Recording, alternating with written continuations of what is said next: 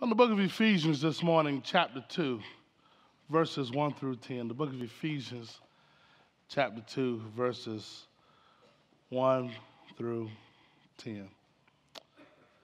I have a young man that I've been mentoring, discipling for some time now. Um, for the sake of argument, I'll just call him Scott. That's not his real name, but we'll just call him Scott. One of the things I've been trying to teach Scott how to do is to share his faith, to share his testimony, what God has done in his life. And a few weeks ago, I took Scott out with me on a Thursday night, and I said, Scott, I've been working with him for a few months now. I said, Scott, tonight you're going to share your faith. And he said, cool. And when he got up to share his faith, he talked about having lived a wonderful life in sin. He used to go to all the parties, he used to do drugs, he used to smoke and, do, and drink alcohol. Uh, he had a wonderful life of sin. Then he said, One day I got saved. And oh, what a difference Jesus has made in my life all the joy and peace that he's bought me. You see, when he was talking about his past life, he talked about living a wonderful life in sin. But somehow, when he talked about the Christian life, becoming a believer, it was almost like a total letdown. That it's, it's boring is, is, second class to what he had experienced. And I said to him afterwards, I said, Dear brother, we need to flip the energy and the enthusiasm around on that testimony. Because when you were living in your past, you were dead. But thank God in Christ, you have been made alive. And maybe I'm talking to someone here Calvary Chapel this morning. Maybe you thought in your past life, man, I really had a great time. I had lots of friends. I, I, I was the life of the party. And somehow you feel like the Christian life is a letdown. And I just want to remind you today from God's word that the Christian life is not a letdown. Matter of fact, He raises us up, He places us in new places. A- a- amen? If you think your past life is more exciting than the life you have now, maybe you either need to go deeper or you need to get on board what Christ is doing right now. Matter of fact, this text proves what I'm saying. I think it's a portrait of the Christian life. It reminds me that Paul says in verse 1 and you were dead in your trespasses and sin. Um, how much worse can it get? I call this in verses 1, 2, and 3 the coroner's report. He said you were dead. What does dead mean? Capital D, capital E, capital A, dead. Flat line. In other words, you could not respond to God. And even if you could, you wouldn't. Because you are dead, I tell you. It's almost like hooking every spiritual machine up to you. You're dead, unable to respond to God. And of course, in verse 2, it says, In which you formerly walked, according to the course of this world according to the prince of power of the air, of the spirit that is now working in the sons of disobedience. Not only were you dead in verse 1, but closely related, and it gets worse, you were disobedient. Um, you walked with the one of this world. You're not only dead, but you're disobedient. It's like walking in the total opposite direction from God because you walk according to the course of this world, according to the prince of power, which is the evil one, Satan of the air. of the Spirit that's now working in the sons. And if you allow me to say this, and daughters of disobedience. Um, brothers and sisters, uh, the coroner says not only are you dead, but even what makes matters worse, you are disobedient. And I was telling my disciple, I said, You got to look at this again. When you thought you were partying and having fun, you were really dead. You were really empty. And you know what he said to me? He said, You know, you're right. Every party I've ever left, I left empty. Every time I took drugs, it left me empty. Every time I got drunk, it left me empty. Verse 3 it says, Among them, you too all formerly live in the lust of our flesh, indulging in uh, indulging the desires of the flesh and of the mind, and were by nature children of wrath, even as the rest. Brothers and sisters, not only were we dead, not only were we disobedient, but thirdly, here, the coroner's report tells us that we were depraved and we were also headed for certain doom. It doesn't get any worse than that. Matter of fact, someone just asked me the other day, what does this whole idea of depravity mean? Is it, is it depraved or depravity? Is it total depravity? They told me they were confused, and I told them I was too. All I know is that every aspect of us, every aspect of our being has been tainted by sin. Well, I like coffee in the morning. Anybody else drink coffee in the morning? Wait a minute. No, I'm sorry. I don't really like coffee. I like creamer, and I like coffee with my. Am I at the right church now? I thought I was at the wrong church just for a moment there. I like I like coffee in my creamer. And, and matter of fact, um, the one that I like is the one that the angels use in heaven. It's called French vanilla. Yes, I, I, love myself some French vanilla. And I, I, I, most of the time, I put my French vanilla in the coffee cup first. Then I add a little coffee to it, and I drink it strong with my French vanilla in there, and I love it. Just the other day, I made me a cup of um, um, a French vanilla creamer with my coffee in it, and it was divine. I promise you it was. But I let it sit too long, and I need to refresh it, and I put some more coffee in it, and I noticed, without even adding any more fresh vanilla to it, it was, it was still righteous. It was still right. I said, Praise the Lord for coffee creamer. You see, once you add coffee creamer to your coffee, it can never go back to just being coffee.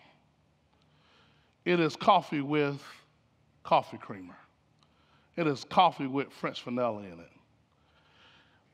When our grandparents, Adam and Eve, sinned, when sin entered to our flesh, we can no longer say we're just human. Now we're human with a fallen nature. We're human with a sin nature. We're, we're, we're depraved now. Every aspect of us, my mind is depraved. My, my, I have a bottle of water. Thank you, dear brother. No, sir, I have one. Thank you. Um, but hold that one t- for me until after church. I may drink it then. Um, every aspect is depraved. Our mind is depraved. Our heart is depraved. Our will is depraved. Our body is depraved. Every aspect of our being is depraved. Just like the coffee creamer taints the coffee, sin has tainted every aspect of our lives. And then to make matters worse, we're doomed. It says in that last section there, we were, were by nature children of wrath, even as the rest. You see the coroner's report? I was telling my mentee, Scott, I said, we were born dead, unable to respond, respond to God. We were born disobedient. And if any of you have kids, you know kids are born disobedient. I love to blame my wife for it, but I still look at the man in the mirror. We were born depraved already with a sin nature. And lo and behold, we were born doomed. I don't know about you, brothers and sisters, it doesn't get any worse than that. Dead is enough for me. But when you add disobedient, when you when you add depraved every part of me, even when I want to do good stuff, evil is right there, present. And not only that, I was doomed. But verse 4 gives me the good news. But God. Okay, I'm at the wrong church. but God. Okay, let me try this side out. That's that side. But God. I like this side better already. But God, being rich in mercy, because of his great love with which he loved us. You see, the first section is the coroner's report. But verses 4, 5, 6, 7, 8, and 9 is Christ to the rescue. And what do we have when Christ comes to our rescue? First of all, we experience the love of God. But God, being rich in mercy because of his great love, which he loved us. When I was a kid in vacation Bible school, I learned this verse For God so loved the world that he gave his only begotten Son, that whosoever believe in him shall not perish but have. Y'all must have been at the same vacation Bible school.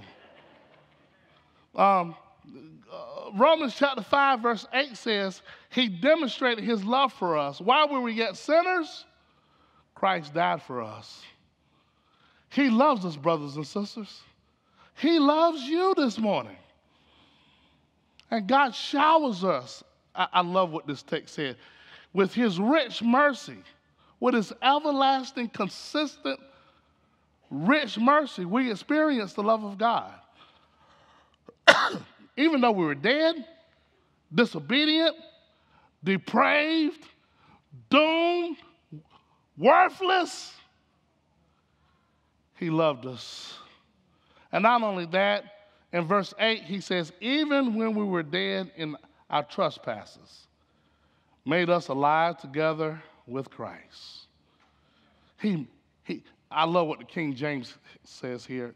King James says, He quickens us he makes us alive. He put newness of life in us. I like what the scripture says in 2 Corinthians chapter 5, verse 17. Therefore, if any man be in Christ Jesus, he's a new creation. Old things are passed away, and behold, all things have been made new. and you have to notice the building block here in verse 4. He said he loves us verse, verse 5, he, he says it like this he, he made us alive together. By grace, you have been saved. I woke up this morning thanking God I'm saved. I'm on my way to heaven. Anybody glad that you're on your way to heaven this morning? That you're saved this morning? You don't just have insurance, but you have assurance, blessed assurance, Jesus is mine. For so many people, they have fire insurance, but no blessed assurance. I'm saved today. I experience the love of God. He loves me, He saved me. And I get up with that joy every day of the week, even though I was born disobedient.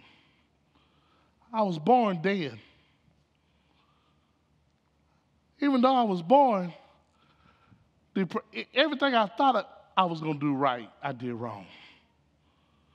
But God loved me through all of that. You know, as I look at this, it just keeps on building. It gets better and better. Not only do we experience His rich mercy and His love, verse 4. Verse 5 says, um, He quickens us. He, he made us alive together with Christ.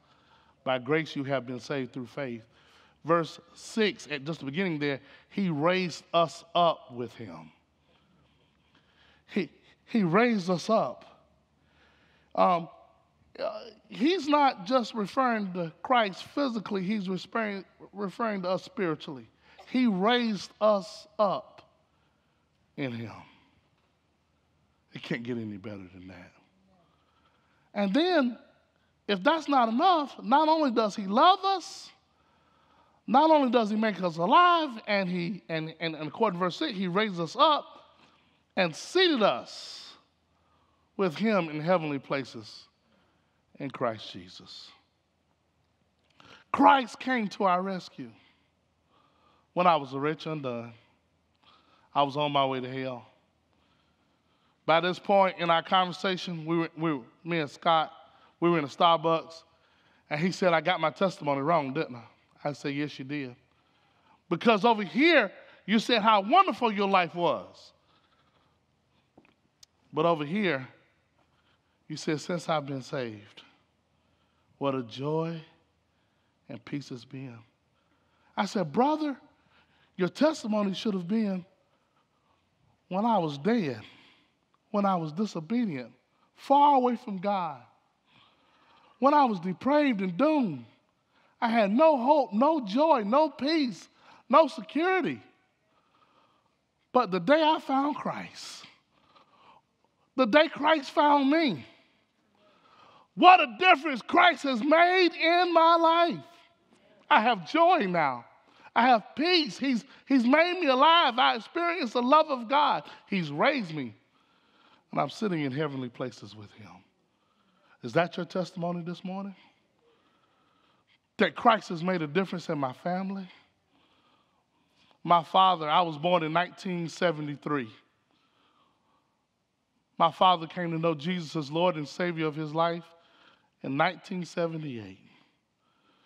And I can still remember the night under that tent revival that my father gave his life to Christ. He had a pocket full of cigarettes, a cabinet full of liquor at home, but something got a hold on my daddy, and he couldn't shake it off. And I remember he got to the altar that night and he emptied his pockets of his cigarettes. And he told us, told our pastor, he said, I want to be saved. And our pastor prayed with him. And my daddy gave his heart to Christ that night. He said, I got to be baptized. The pastor snatched off his robe. He said, Put on my robe. We're going to baptize you right now. When my daddy got home that night, cabinet full of liquor. He poured all of that junk down the drain. He said, Because God has changed my life. And I realize some people are saved and they're still smoking, and some people are saved and they're still drinking. But there was a difference God made in my daddy's life that night. And you know, I sat there as a little boy watching my dad. And not only was God changing his life, but the Lord was also changing my life too and the life of my brother and the life of my mom. God was turning our family around. Christ came to our rescue, I tell you. I've thought many of days, where would I be without Jesus in my life? I'd have been dead a long time ago. Does anybody know that? Without Christ in my life today, I've been married this coming May for 22 years, I'd have been divorced a long time ago. But the difference Jesus has made in my life. And you know what? I know He's not just making the difference in my life, I know He's making the difference in your life as well. When Christ gets a hold to your life, oh, the grace, all the joy, all the satisfaction and security and here's the richness of his grace. this is where all of this comes together. He says in verse 7 so that in ages to come he might show the surpassing riches of his grace and kindness toward us in Christ Jesus. You know, the Bible tells us he made him who knew no sin to become sin for us that we may become the righteousness of Christ in him? In other words, he made someone die for our sins. He poured our sins on his son so he could be kind toward us. And I thank God for his kindness that he has shown me.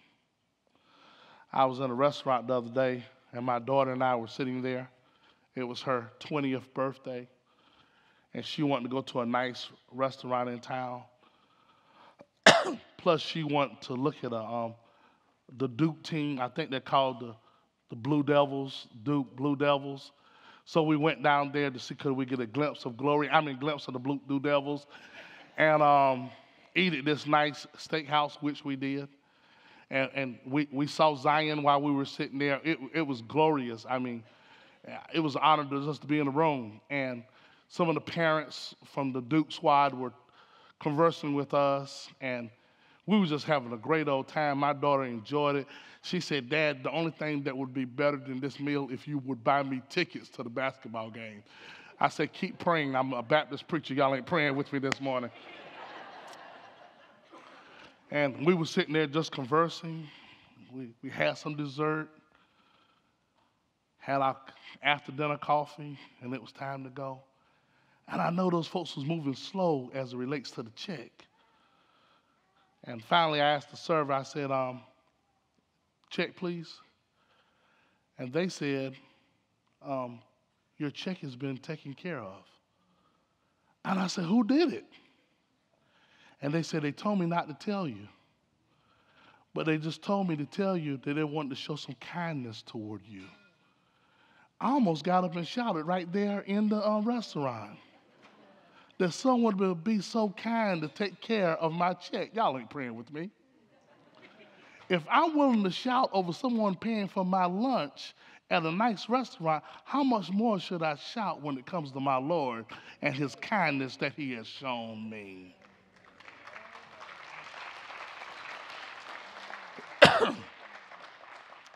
He's been kind in his grace.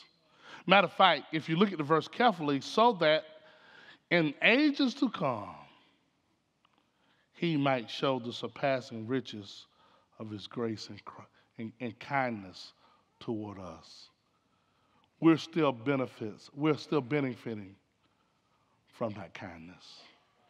Then, if, if you think that's good, you should see verses 8, 9, and 10 when it just really gets into it. For by grace you have been saved through faith. And not of, not of yourselves, it is a gift of God. when I read verse 8, Christ has really come to my rescue because someone asked me just a few years ago, Do I have to do something to earn my salvation, to gain my salvation? I said, No, it's, it's just by faith. You receive it. This grace has been given to you through faith. They said, That doesn't seem right that Christ did all the work and I get all the benefit. But I said, That's the name of it this morning.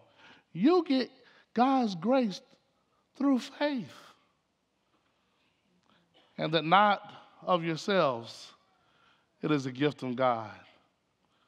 One of my friends' daughter is getting married soon, and um, her fiance decided to take her parents out. And they were in this restaurant and they were eating together. And this young man had saved up his pennies in order to impress her father. So when the check came, the young man said, I'll pay for it. And the father said, No. Well, he said, Sir, he said, I've been saving up for this moment, and I really want to be a blessing to you and your family. He said, Son, no. I got the check. The young man seemed deflated, seemed kind of bothered. I would have said, Praise the Lord. But anyway, he seemed a little bothered, a little deflated by it came up with something else. He said, Well, if you're going to take care of the check, can I at least take care of the tip? And the father said, If I won't let you take care of the check, you can't take care of the tip either. Brothers and sisters, this is such a gift from God. He doesn't let us pick up the check, nor does He ask us for the tip, because Jesus paid it all.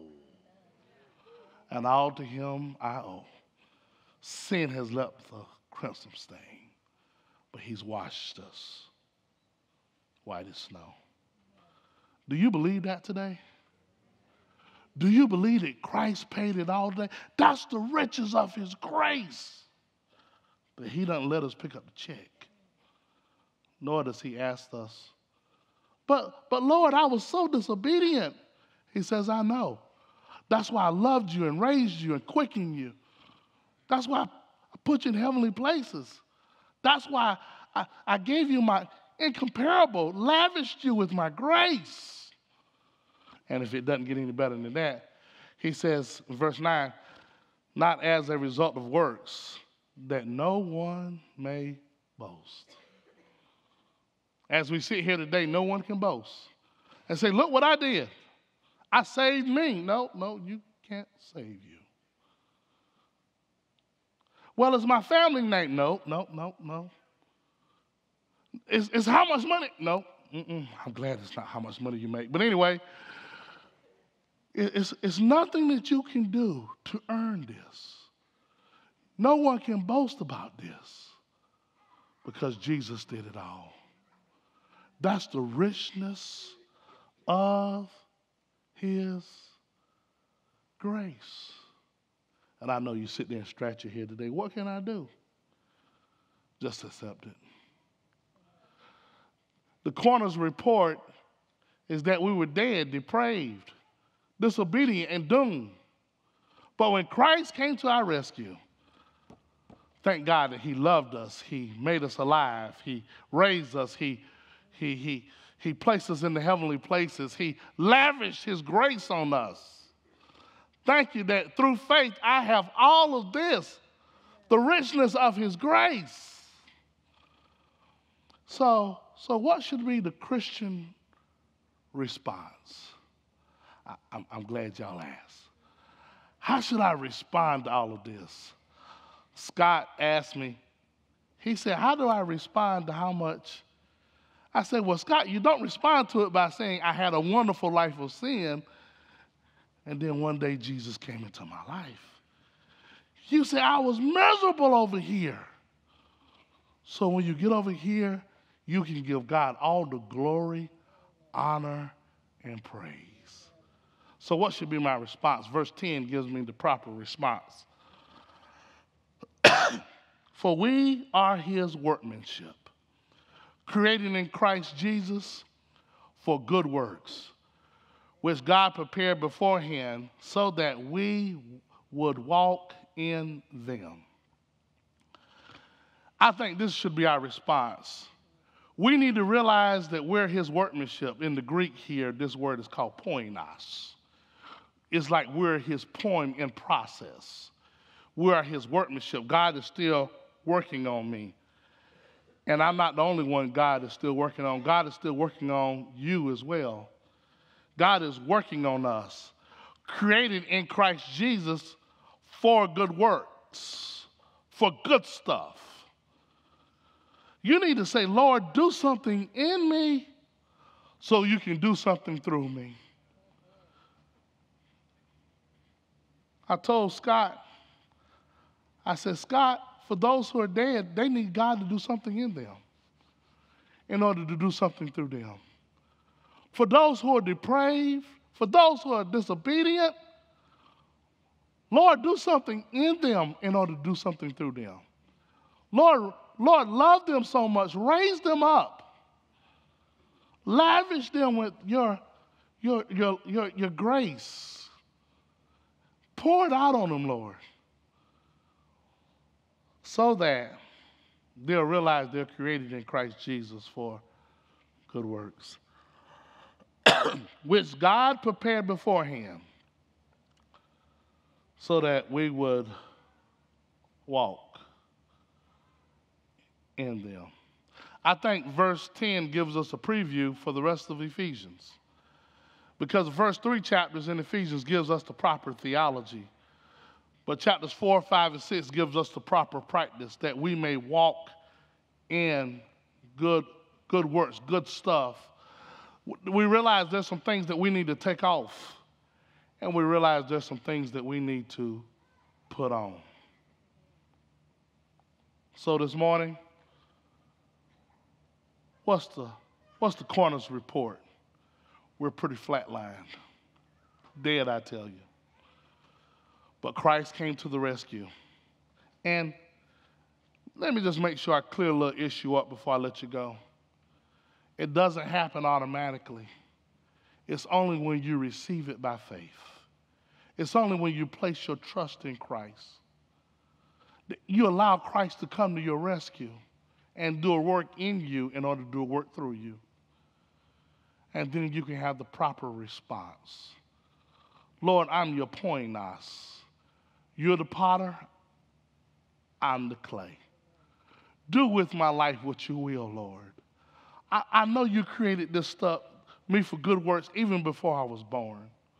Lord, do your work in me. And with that kind of available heart, God comes alongside you, and not only does He do it in you and through you, but God will take you places that you never thought you'd go and help you do some incredible things by faith that you thought you'd never do. Do you believe that this morning? Let me pray for us. Father, I pray for that person this morning who thought they had a wonderful life of sin before coming to know you. But I haven't take the t- taken the time to investigate the riches of your grace, to know how amazing your grace is. Thank you for the songwriter who says, Amazing grace, how sweet the sound that saved the wretch like me. I once was lost, but now I was found blind, but now I see. Thank you for that this morning. And God, I do pray for my Calvary Chapel family that you would speak to each and every last one of us and help us to remember before you, we were dead. That's the coroner's report. But Christ came to our rescue. That's your grace. And what should be our response? To allow you to work in our lives. This is your servant's prayer now. In the name of the Lord Jesus Christ, I pray. Amen.